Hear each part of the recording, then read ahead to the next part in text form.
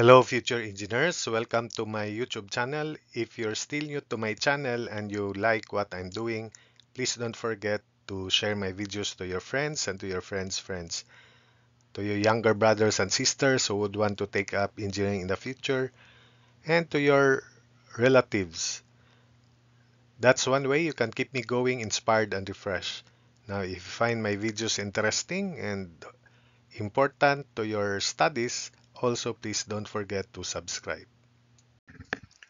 Hello, future engineers, subscribers, viewers, and students. Here is another problem in Calculus Vitamath 82. I hope that you will enjoy watching, learn from the explanations and solutions, and hopefully it can help you improve your thinking skills or analytical skills.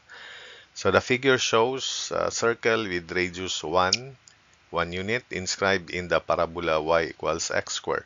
Find the center of the circle. So here is the given figure and that's the circle colored yellow. The radius is 1. So if this is the center of the circle, we anticipate that the answer, because this is the origin, should be greater, slightly greater than 1. So this is expected at 0, x is 0, and y is uh, k is more than 1, slightly more than 1. So we note that this point is the point, common point of tangency between the parabola and the circle. So they should have the same slope at this point. And we will denote this with x comma y. So this is 0 comma k. The center is denoted by k uh, where k is the y coordinate of the centroid of the circle and h is 0 the x coordinate of the center of the circle. So this point is at x comma y. We'll find that first. And the tangent is shown which is common tangent for the parabola and for the circle. So we have to find the equation of the circle also. The parabola, no problem, it is already given. The equation of the circle with center at h comma k in general is x minus h quantity square plus y minus k quantity square equals radius square. And the idea is that comes from Pythagoras theorem. So although you're not required to remember that, but it's important. However, I'll derive the equation of the parabola based on Pythagoras theorem and just form a right triangle here uh, later. So first we have y equals x squared and that's the slope dy dx. So derivative of y with respect to x is 2x for the parabola. So the slope of the tangent to the parabola is given by the expression 2x. Next, let's have for the circle.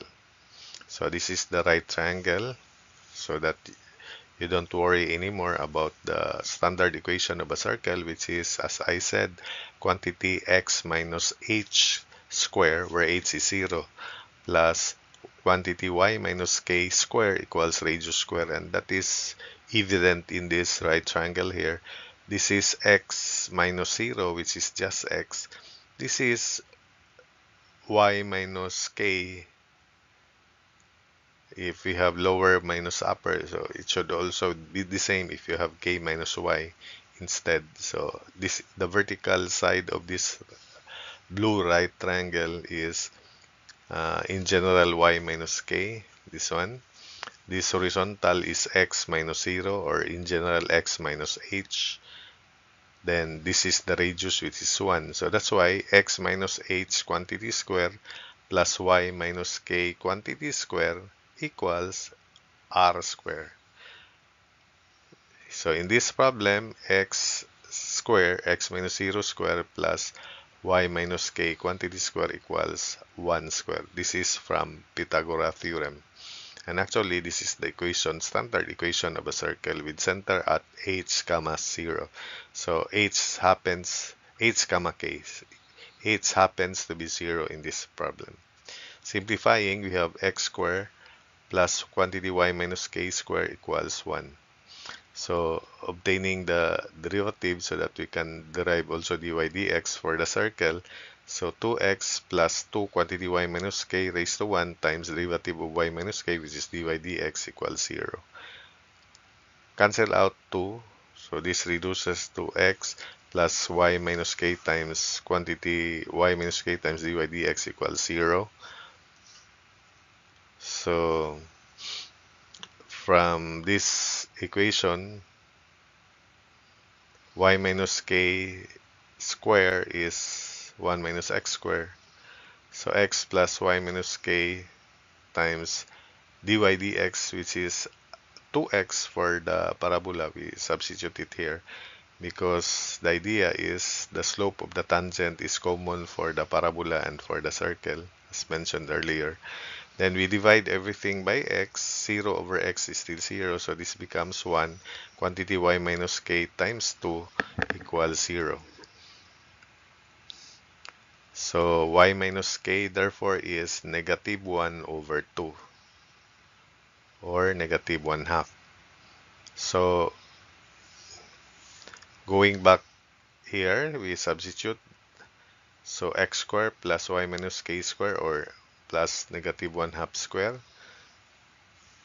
So y is k minus 1 half from this equation, but actually it's the same if we substitute y minus k here, which is negative 1 half. So x squared equals k minus 1 half, and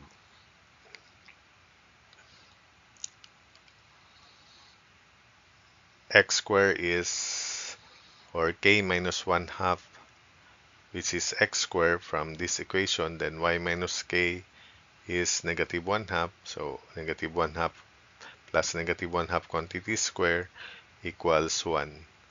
So simplifying, k, k minus 1 half plus 1 fourth equals 1. 1 plus 1 half is 3 halves. 3 halves minus 1 fourth is 5 fourths or 1 plus 1 half is 1 and 1 half minus 1 fourth so 1 and 1 fourth or 5 fourths so k is 5 fourths therefore the center is at 0 comma 5 fourths so that's it for this video i hope that you were able to understand the solution and the explanations so this solution can still be made shorter if from here y minus k is negative 1 half we substitute it here right away. Uh, by the way, x squared is k minus 1 half, so it's the same. It's the same. So that's it.